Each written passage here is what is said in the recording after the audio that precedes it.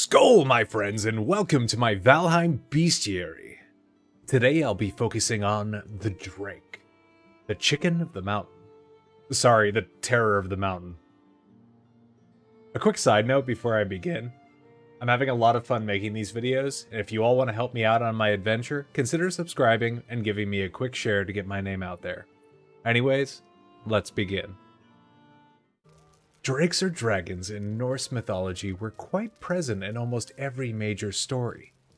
While I want to cover on all of them, I'm going to save some of the major names for my Moder video. These guys were seen as large scaled beasts who predominantly hungered for more than just man and treasure.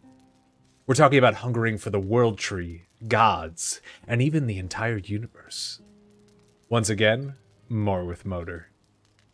With large wings, savage claws, and a forest of sharp teeth, these guys were a frightening sight, if you lived to tell the tale.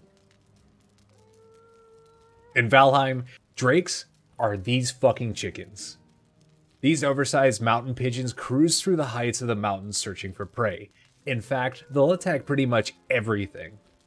There were numerous occasions I saw a drake get pulled into a meadow chasing down a deer or even circling around my fucking workbenches, specifically my workbenches, and destroying them. Like I said, attacking everything. They have an obnoxious frost breath, like their dragon counterparts in stories, which can prove to be frustrating and could easily end your life if you were caught off guard.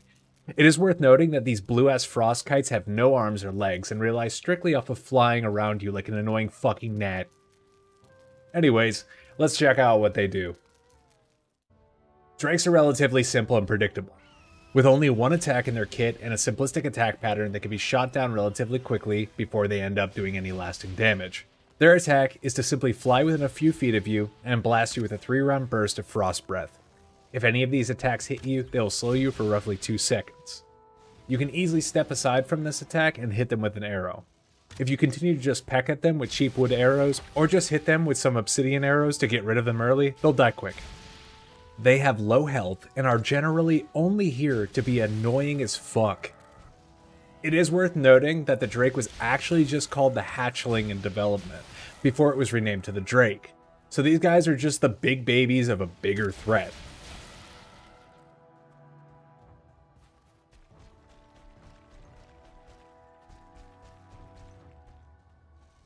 Anyways, I hope you guys learned a lot here. Remember to always keep that fire lit. I'm Solar Polar Bear. Peace out.